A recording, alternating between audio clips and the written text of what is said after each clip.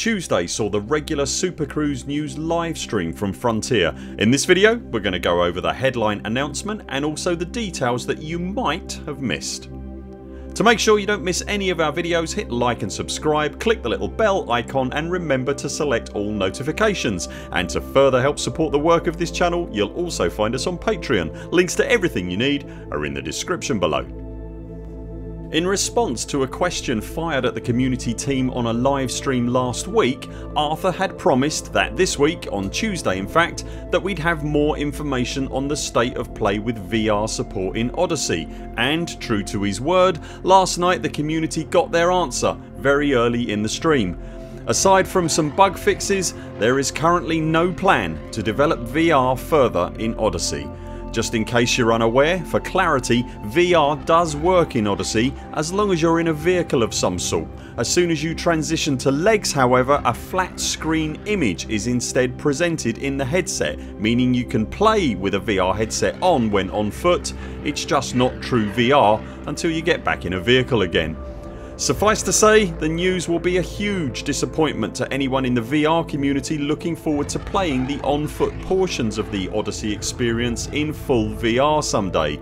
It's worth noting that later in the stream it was reiterated that the team are not saying never just that it's not being worked on anymore at the moment but honestly given this announcement I wouldn't hold out a lot of hope at this point that you'll see the on foot full VR experience in Odyssey going forward. Arthur has said on multiple occasions since Frontier embarked on their revamped communication drive that he'd rather we had an answer we didn't like on stuff than no answer at all and this is most definitely an answer. As part of the bug fixes going into VR there is apparently a fix for the VR DSS interface going into update 5. More on that patch in a moment. Update 4 for Odyssey is due to arrive on Thursday morning UK time. Full patch notes will be made available once the patch goes live. However the team did reiterate again that the patch contains a raft of UI flow improvements to the galaxy map as well as significant improvements and changes to the lighting in the game. The team described a few of the UI changes that are going in on Thursday. Overall it includes a bunch of quality of life improvements particularly to the bookmark system with the changes including a new favourites tab. Overall the experience in the Galaxy Map UI is said to be slicker, faster and more convenient which was good to hear and one significant point for the Explorer community the Galaxy's various nebulae will once again be searchable in the Galaxy Map. One quick note for your diary. We mentioned update 5 earlier. That was scheduled for next Thursday the 24th of June. However it's apparently such a large patch that it has now been put back a week to the 1st of July.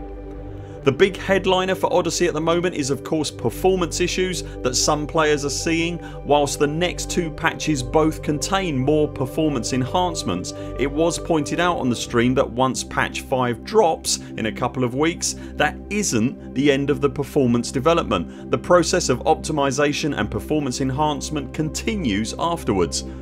We were particularly pleased to hear that fact underlined on the stream as there had been a fair bit of anxiety in the community that onward performance enhancements and improvements would suddenly stop with patch 5. The plan for patch 5 also included the addition of team missions for Odyssey. I want to call them wing missions but I can't or can I? Either way seriously looking forward to those. The joined up multiplayer mission experience is something that's very much been missing from the on foot gameplay in Odyssey. It's worth noting here as well that elsewhere on the stream the CM team made mention of the fact that they're keen, as is the community, to see a melding of Horizons and Odyssey style missions where a mission will have a ship component to it and an Odyssey on foot component to it.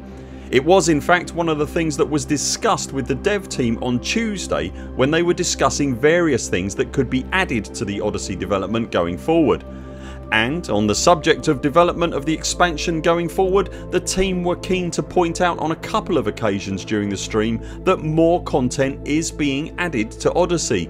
The obvious caveat being that this initial post launch fixing phase has to be overcome first but they were very adamant that there absolutely is a plan for more content to be added and with regard to communicating about that content they are planning on having monthly development focused streams including guest members of the development team starting at the end of this month that will talk about what features are being worked on. Again good to hear from FDev themselves that more is being added to Odyssey and that going forward they will be communicating to the player base about that content on a monthly basis.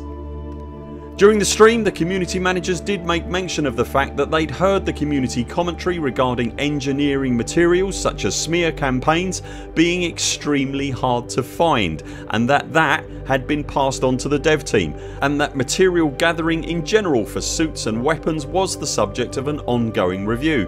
No specific promises were made at this time but it's possible from that comment that some of the numbers may change in the future once the dev team have had a chance to see from the back end what the effects are with the current process of gathering and engineering.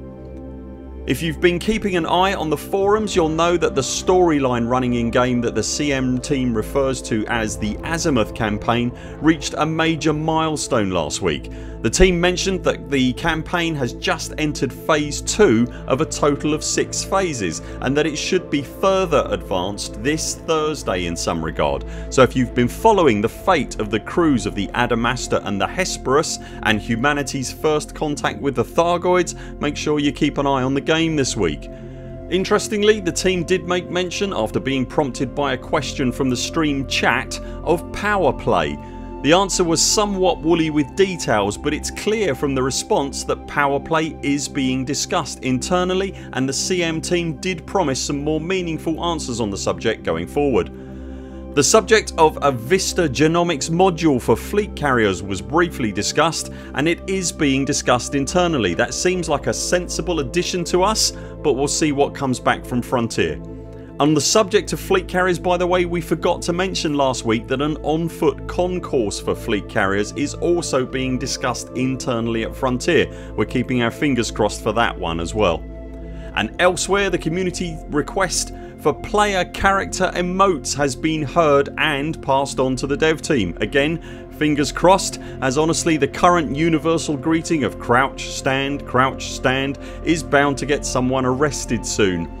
Overall it does seem that the policy of more open and honest communication is being implemented. It might not yet yield the answers everyone was hoping for but there are now answers coming from the Cambridge developer as was promised and that has to be classed as progress.